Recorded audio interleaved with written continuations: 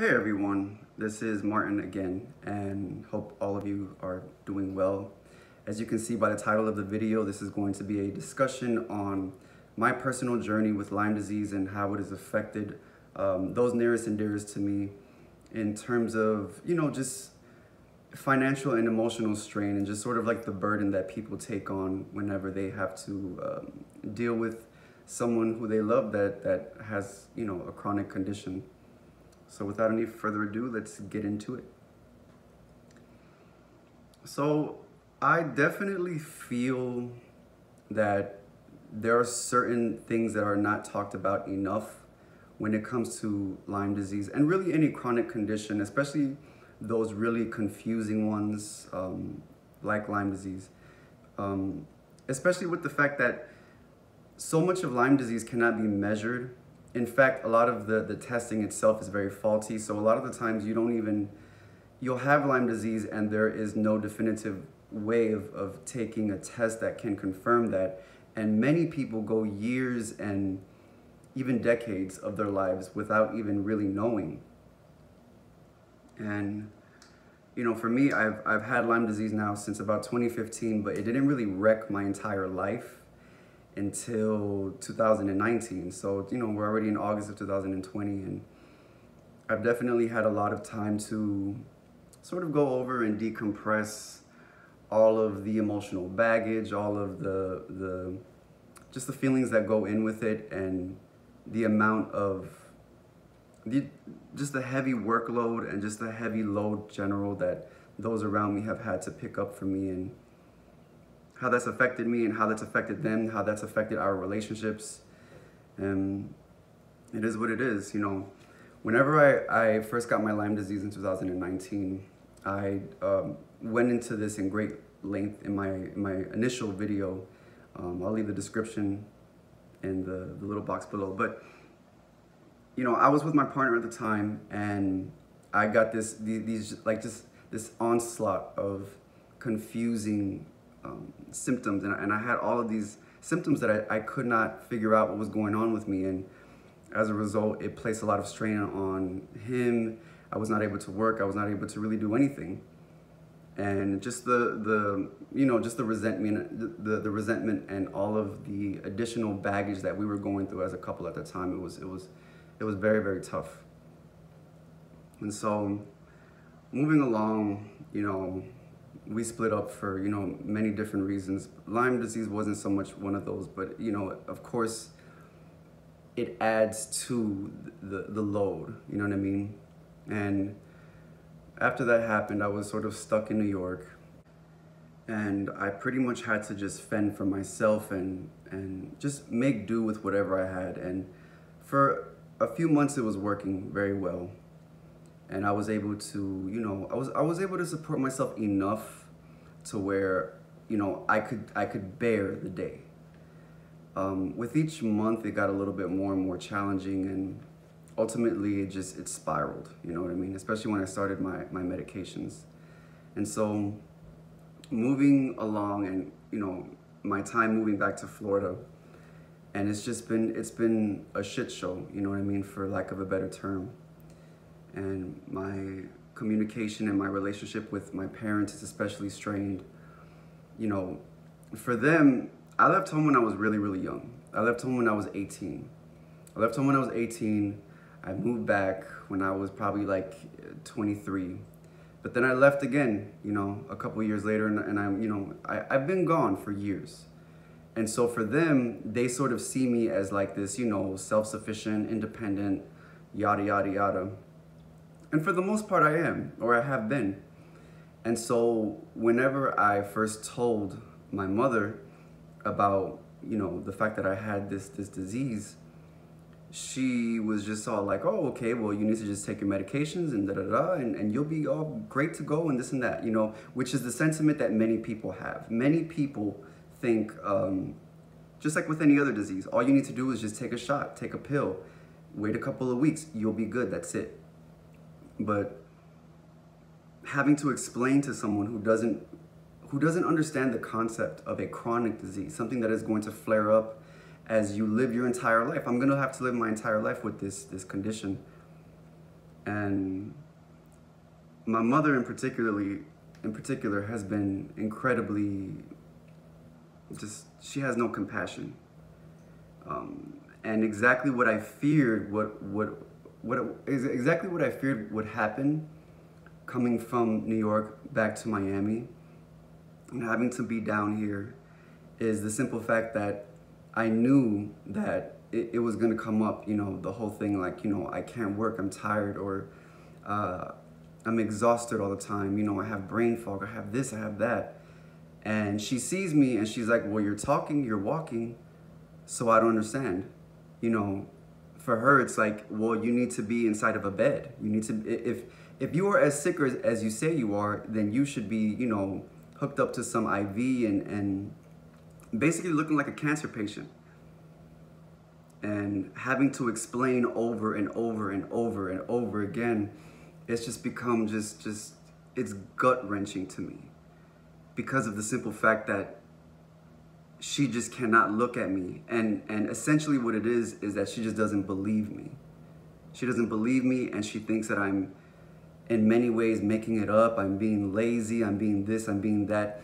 And the stigma of having a chronic disease like Lyme disease is the fact that people label you as such. People see you as just like these like, oh, like you're just making it up. Even doctors think that.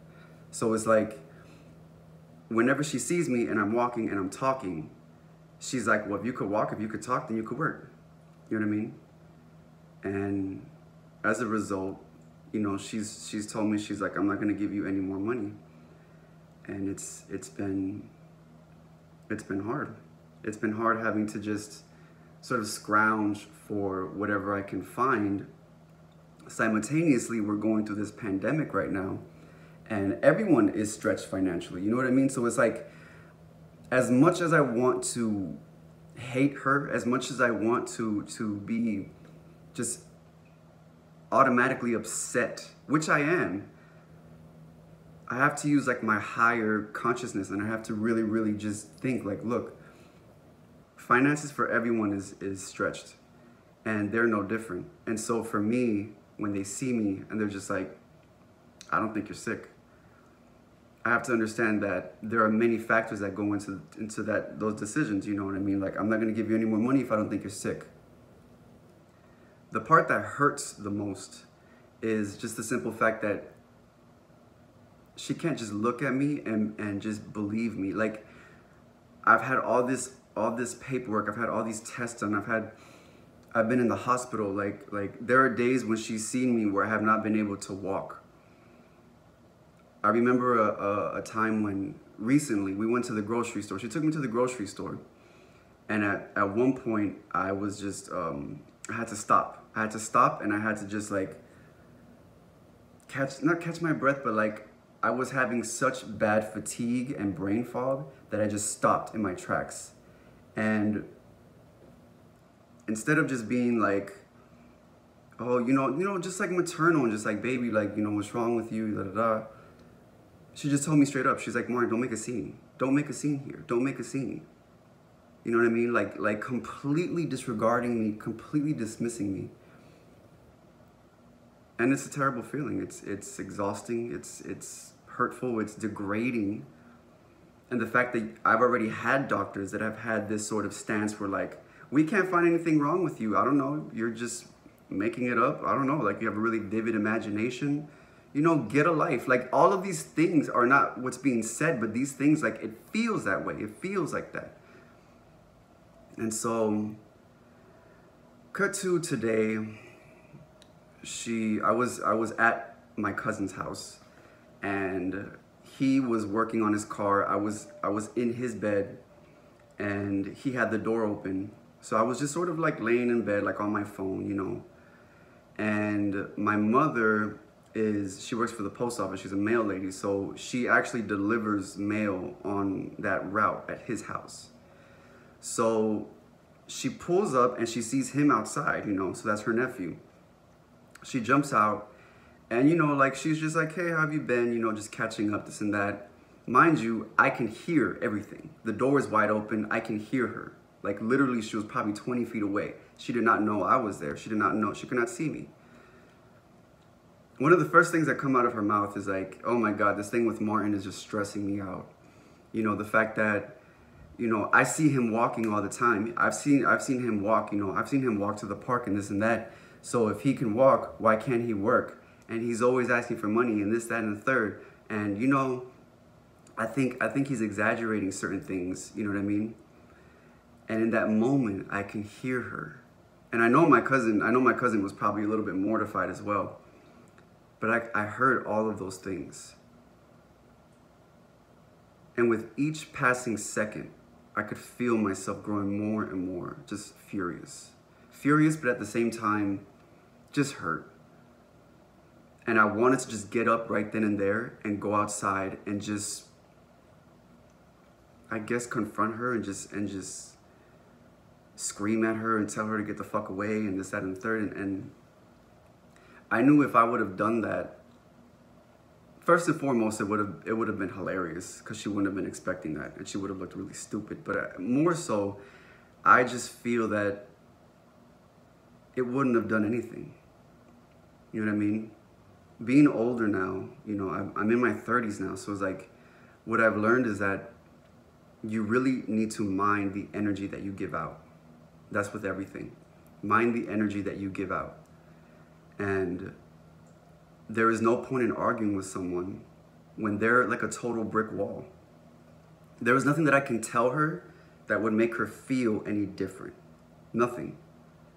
If she were to see me like hooked up to some hospital bed or something like that, then maybe you know that might change her perception. But the thing about it is that, like I said, I've been gone all of these years. So she does not see me every day in and out.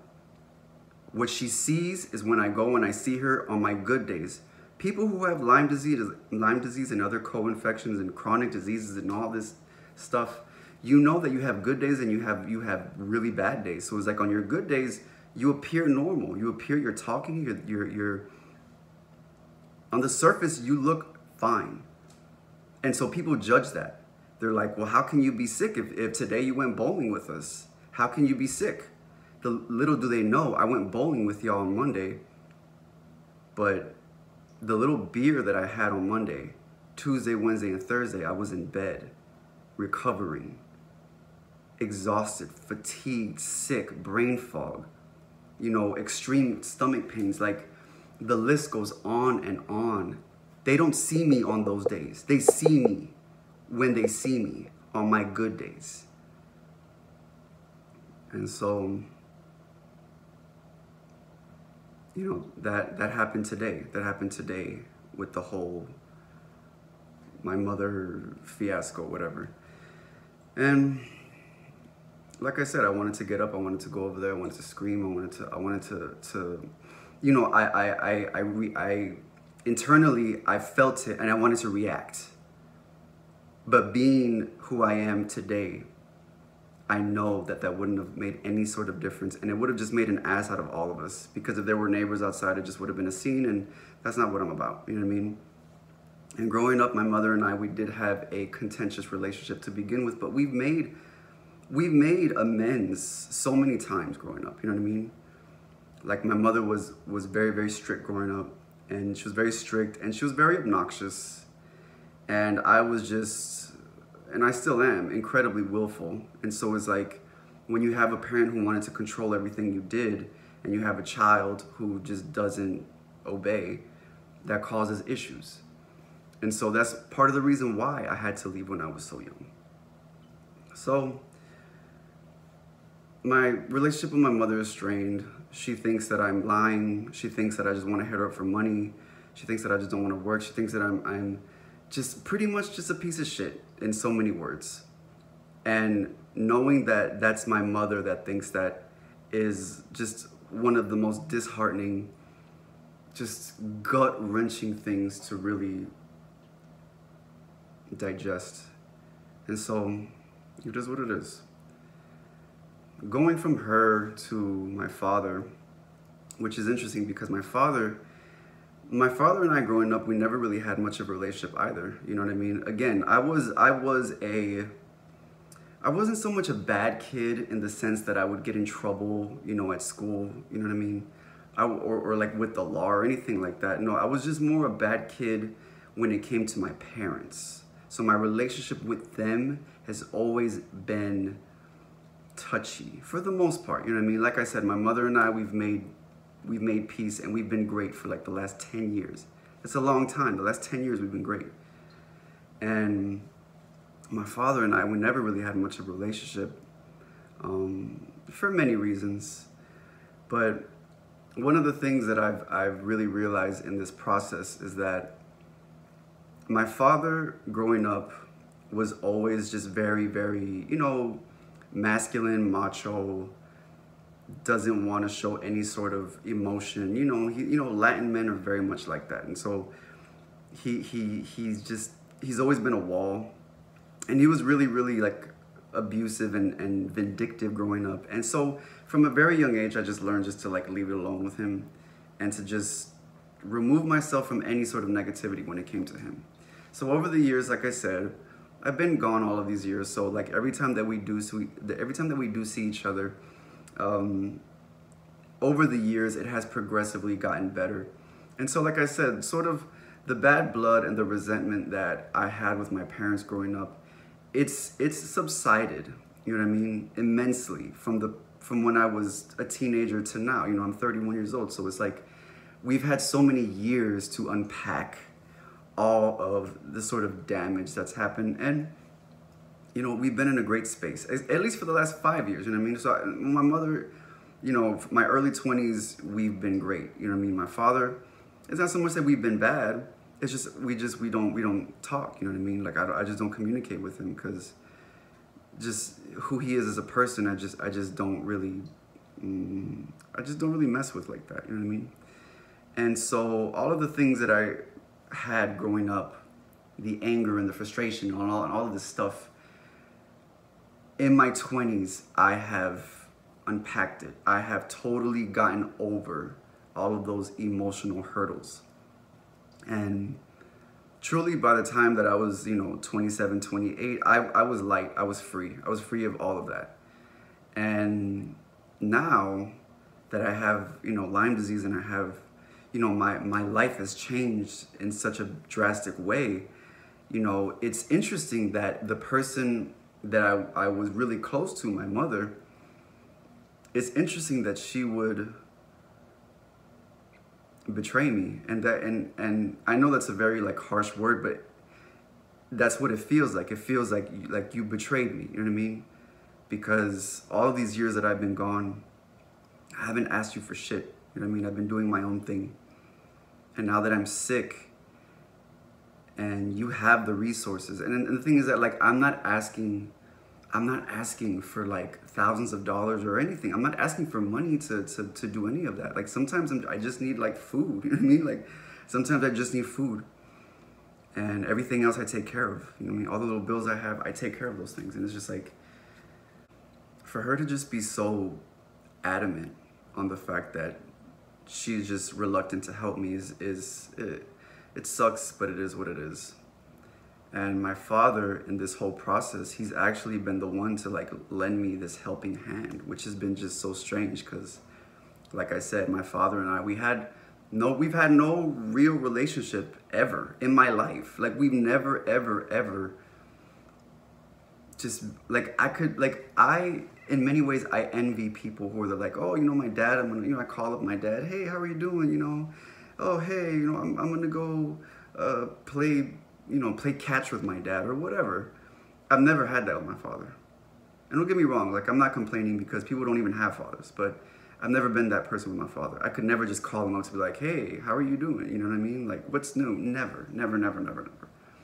And so in this whole process for him to actually be the one that has compassion, for him to actually be the one that's in my corner, it's it's strange, it's surprising, but it just shows me that he really does love me. You know what I mean? He still really does love me.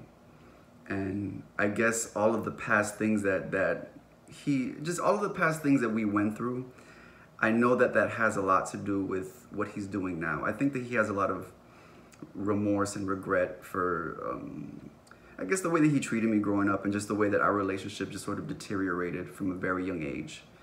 And so all of that is happening and you know, this this whole like having to be supported by this person or just like just just having to be a burden on everyone is exactly what I did not want to happen. When I was in New York and I was and and the virus broke out and I had to come back to Miami, I was just like, I already know what's gonna happen. I already know what's gonna happen. I'm gonna get down there and I'm gonna have to be pretty much just like an open wound, you know what I mean, for everyone to just sort of like patch up and like like almost like a baby, you know what I mean? I feel very childish and childlike and it's it's like I said, it's degrading. You know, it it it takes such an, an it feels like such an attack on you as a person, on your on your manhood, on everything. You know what I mean? Like like all of those things are just so so so like dehumanizing in so many ways and I guess that's just part of the of the nature of the disease, right? You just have to sort of let go. And that's another thing about this whole process is that like I've been fired, I've been, you know, broken up with, I've been let go, I've been I've I've in so many words like I've had to learn to understand that letting go is just one of one of the lessons right now in my life. And you know, the whole situation with my family. It's hurtful, it's painful. But again, I'm not that invested in the drama of it. I'm not that invested in the emotion of it. You know, I'm human, so like obviously like I feel, you know I mean? I feel things. But it's like I always have to catch myself. I'm not like a little 16 year old, you know, angsty teenager that, that wants to get back at my parents or that wants to, you know, like get revenge for making me feel like shit. No, like it hurts, but I have to realize that I cannot do anything about them. That's one of the lessons about growing up, you know, now that I'm, you know, 30. Like one of one of the, the lessons that I've really truly learned and internalized is that you cannot change what another person does. You cannot change another person in that way all you can really control is you and yourself and what you do and how you react. And so whenever you're whenever you're placed in these situations where you're sick and you have to depend on people and you have to call people, can I get a ride? Can I get this? All of these things they make you feel so small and useless and just just you feel like nothing. And in the process I've learned that I cannot control what other people do to me. I cannot control that.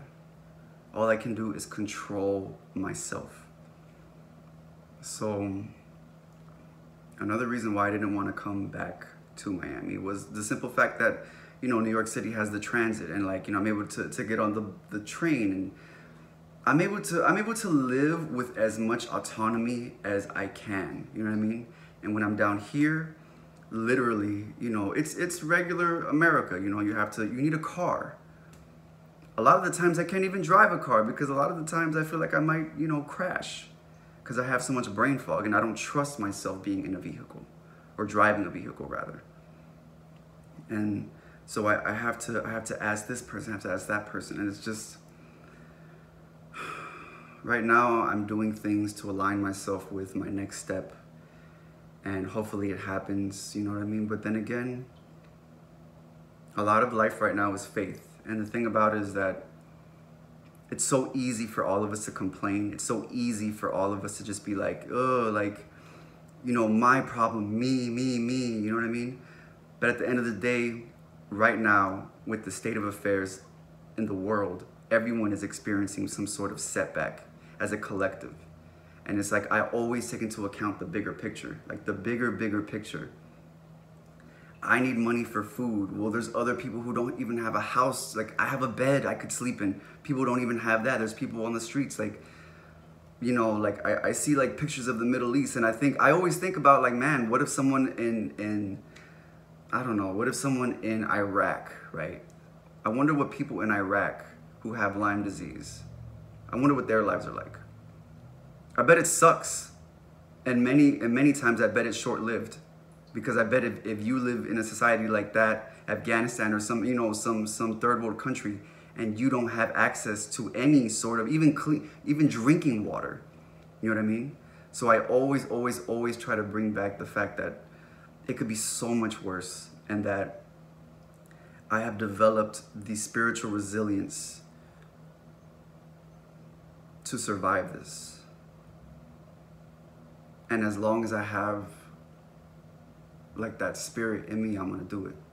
I'm gonna continue and I'm not gonna stop. I feel like I've been through so much in my life, like up to this point. And certainly like the whole Lyme disease has been the worst thing, you know, in my life. But I've been through so many hurdles, I've been through so many ups and downs. And it's just like it almost feels like this is like my test. You know what I mean? Like my my ultimate like test. And that's that's sort of the, the, the mentality that you not that you have to have, but that's I've always been a more of like a glass half full than a, gla- glass half empty type of person. So it's like I try to remain positive. Obviously, like external factors, you know, like my mom coming and talking shit to my cousin when she didn't even know I'm listening. You know what I mean? Like those things affect me, but I'm not gonna give my energy to it. I'm not gonna give my energy to that. I'm gonna continue on my path, and that's what I have to do. And for all of y'all who have Lyme disease or, or MS or whatever other condition, like you have to develop that inner spiritual core, honestly. Because there have been days, there have been weeks when I've been in bed and I cannot get out of bed. And I would be just glued to a bed for weeks and weeks. And in those moments, like you are literally like, what the fuck am I living for? Why am I living right now? What am I alive for? What is my purpose? And everyone is different. Everyone is different. Everyone is going to find whatever purpose they they serve or they have. But it really, really, really starts from that inner spiritual work and that inner resilience and that inner development. You know what I mean? It's a lesson, and it, and it, it's many lessons. And in this whole process, you know, like I said, I'm really close to my cousin, and, and he's been he's been really just like the the backbone of my support. And you know, like I I owe him just so much, and luckily I have him. And I think about if I if I didn't have him, what would I have done? Like what what where would I have been? Like what what would I be doing right now? You know what I mean? And then and it gets dark. Like it gets dark, it gets scary. You know what I mean? You think about suicide, you think about just all of the things in life that that you have yet to accomplish and all of the things in life that you want to do and that has left to be done. You know what I mean? There's like all of the pinnacles that you you set for yourself to to hit and whenever you get this like really chronic, ugly disease and it just sets you back in such an awful manner, you, all of those things feel like a million miles away. All of those things feel like a million miles away. And having these, these chronic diseases, really, it, it necessitates having a strong support system. You know what I mean? And, and I've had to like, I've had to go online. I've had to look up support systems and it's not easy. And then adding to the fact that we have this this worldwide thing going on right now where it's like you cannot meet in person. So it's like right now everyone is living in solitude for the most part. Everyone is is is they've they've had to definitely like downsize uh, their social life. And I say that because last year is whenever I got sick and last year is whenever I had to pretty much do all of those things. So I feel like I have a head start in that department because I was able to, not that I was able to, I was forced to to be sick and to be alone and, and to and to sort of grapple with these emotions and all these things that were happening to me at, at once. And so whenever this happened this year, obviously it sucks. Obviously I would rather, you know, be talking to someone and be outside and, and all these things. But what it grants us is the time. That's what this that's what this whole process has granted us. It has granted us the time to be present with ourselves and to work on ourselves and to work on whatever baggage you have. And only you are responsible for really unpacking those things.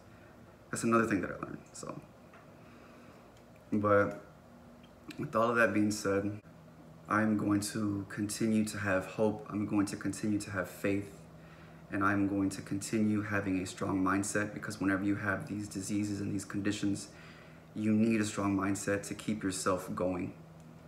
And that's all I can pretty much say. So that was it for this video. I'm going to continue with more videos. Um, I really appreciate if you made it to the end of the video. So yeah, I'll check you later. Bye.